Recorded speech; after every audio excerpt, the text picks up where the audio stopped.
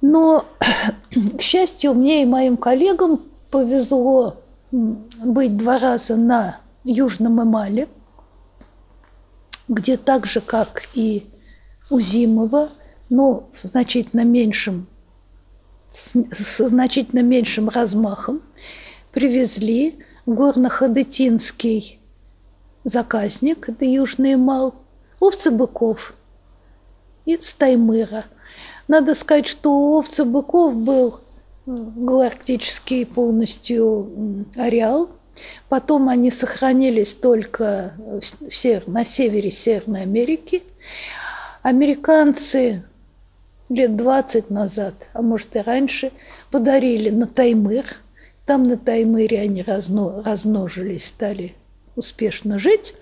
И вот то ли, а, в 97 году с Таймыра их привезли в Горно-Ходетинский Э, заказник. Мы там были два раза э, с небольшим перерывом.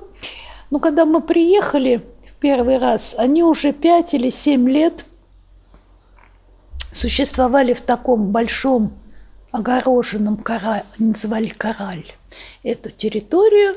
Их подкармливали, но в основном они паслись самостоятельно. Их подкармливали в основном зимой. Когда мы второй раз приехали, и мы, значит, описывали тоже эту тундру.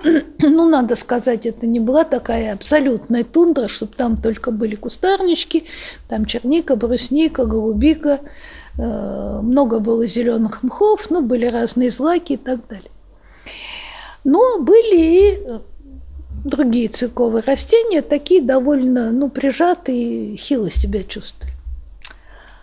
После того, как эти товарищи очень хорошо удобрили эту территорию, на том месте, где они особенно любили стоять, потом их перемещали, чтобы они не вытаптывали до конца. Вот мы увидели такие красочные сообщество.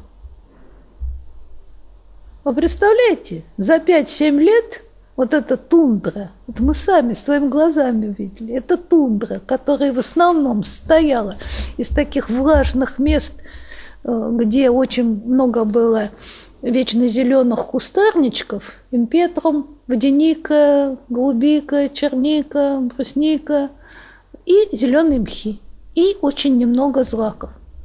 Пожалуйста, хидизаром альпином. Это бобовые, шикарные, невероятно вкусные, я думаю.